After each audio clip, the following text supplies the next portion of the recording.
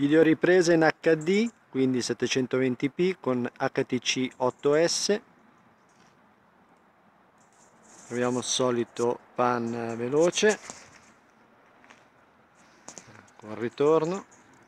Avanziamo piano. Vediamo com'è la messa a fuoco. Proviamo a avvicinarci alla pianta.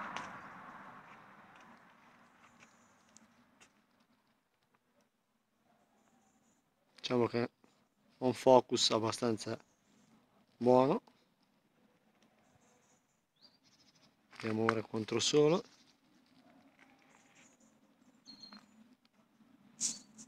E terminiamo il nostro 360